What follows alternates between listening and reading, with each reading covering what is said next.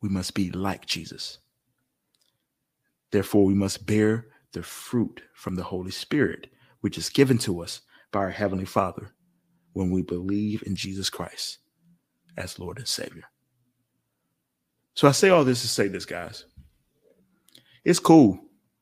It's really cool to admire the talents of our peers.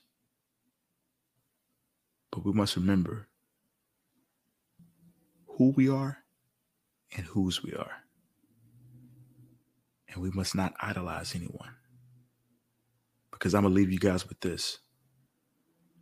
John chapter 14, verse 6 reminds us of this I am the way, the truth, and the life.